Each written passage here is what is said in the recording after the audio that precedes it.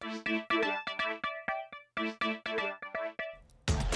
In the E-Block today, if you'd like to take part in this year's Laugh Fest, you can now register to take part in all the fun. This year's Laugh Fest will be held virtually, and you can sign up for the Kids Joke Time virtual showcase, the Seriously Funny Adventure Challenge, and the Laughter RX Symposium. Just visit laughfestgr.org for more information. It's going to run through from March 11th through the 14th, and the headliners will be announced later this week. The Boss is teaming up with former Commander in Chief Bruce Springsteen and former President Barack Obama have teamed up to launch a podcast series called Renegades Born in the USA. The eight episode podcast will see the pair in deep and revealing conversations with each other, exploring a wide array, array of topics. And Obama and Springsteen actually first met on the campaign trail back in 2008.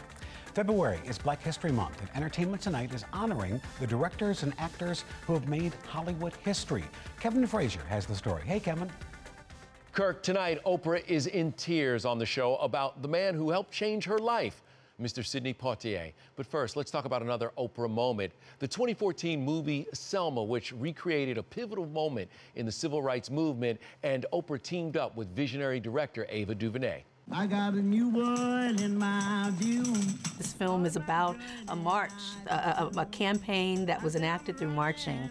They walked knowing they may not get back home. In 1965, Dr. Martin Luther King Jr. led a peaceful march from Selma to Montgomery, Alabama in the fight for equal voting rights. When the protesters crossed the Edmund Pettus Bridge in Selma, they were beaten by state troopers.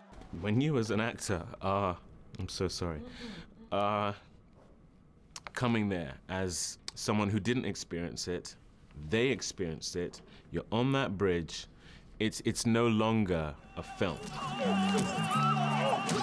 I saw it in a way that I hadn't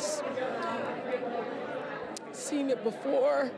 In 2015, Oprah helped organize a march on Martin Luther King Jr. Day to mark the 50th anniversary of the protests. Nichelle marched alongside, proud to be a part of the historic moment.